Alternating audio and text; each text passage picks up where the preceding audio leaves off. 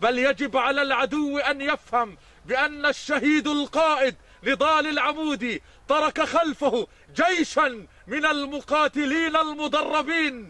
ونقسم لكم بأننا سنجعل قطاعنا الحبيب مقبرة لجنودكم وسنجعل تل الربيع كتلة من لهب. كتلة من لهب. كتلة من لهب.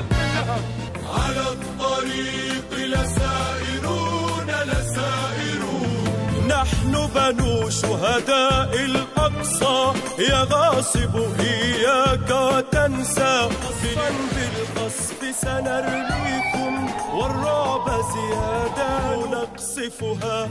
إن عادت له نقصفها. والقصف بقصف سيقابل. وبخزي وبذل